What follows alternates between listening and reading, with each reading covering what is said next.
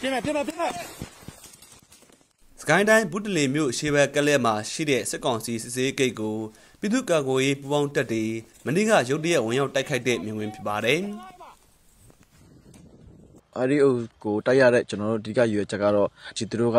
အဲဒီဆိုင်ငယ်တွေပြည်သူတွေရှိတဲ့စီးတဲ့ဆိုင်ငယ်တွေဆိုရင်တစ်စီးကိုသူ4000လုံး4000ကျန်တော့ကောက်ခံတာတွေရှိတယ်ပြီးတော့ဒီမထင်မထင်သူတို့ပိုင်းနိုင်ထိုင်ရှိတဲ့ကားတွေမှာဒီသူတို့စက်ကြီးကောက်တာတွေပြီးတော့ ပတ်စံတောင်းခံတာအဲ့အမျိုးတွေပေါ့နော်သူတို့တွေအဲလှုပ်ဆောင်တာတွေကိုတော့ကျွန်တော်တို့အရင်ကကတော့သိထားတယ်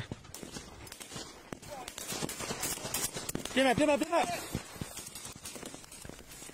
ဒီတိုက်ခိုက်မှုကိုတော့ MDF လို့လူသိများတဲ့ချူဘိုခရိုင်တပ်ရင်း26နဲ့ចောင်းသားလက်ယုံတပ်တော်တို့ပူးပေါင်းကဝင်ရောက်တိုက်ခိုက်တာဖြစ်ပါတယ်ပြင်ပြီနော်။ ဒီကပြက်ခတ်တဲ့ခါမှာတော့လောဆိုကျွန်တော်တို့ဟိုစကားဆရဲ့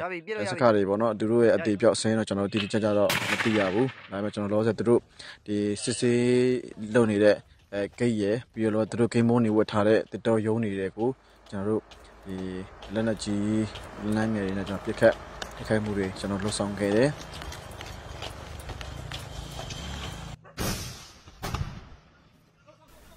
ဘုဒ္ဓလင်မြို့အထွတ်ကြောင်မန်းစစ်စေးဂိမ်းတဲ့ကက်လျက်ရှိပြီးတော့ စစ်သားတွေကင်းမောင်းလေးရှိတဲ့တက်တော်ယုံနဲ့ဒန်ကိုစီတိုင်းတွေကိုလည်းတိုက်ခိုက်ခဲ့တယ်လို့ကာကွယ်ရေးဖွဲ့တွေကထုတ်ပြန်ထားပါတယ်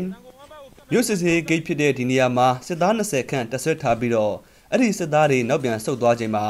ဒန်ကိုစီတိုင်းကိုကာကွယ်ရေးဖွဲ့တွေကမိရှုဖျက်ဆီးခဲ့ပါတယ်ပြင်မယ်ပြင်မယ်ပြီးတော့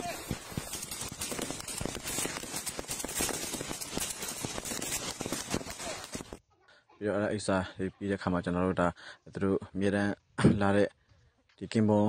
လာဝတ်တဲ့နေရာလည်းဖြစ်တယ်ပြီးတော့သူတို့ဒီသွားလာတဲ့ခါမှာအမြဲတမ်းနားနေတဲ့ဒီတန်ကိုစီဆိုင်ပေါ့အဲ့တန်ကိုစီဆိုင်လောစေတော့ပိတ်ထားတယ်ပေါ့ပိတ်ထားတယ်ဒါပေမဲ့လောစေမှာသူတို့တွေအတွက်ဟိုဝတ်ချင်းလို့လည်းပြောလို့ရတယ်သူတို့နားကိုရဟို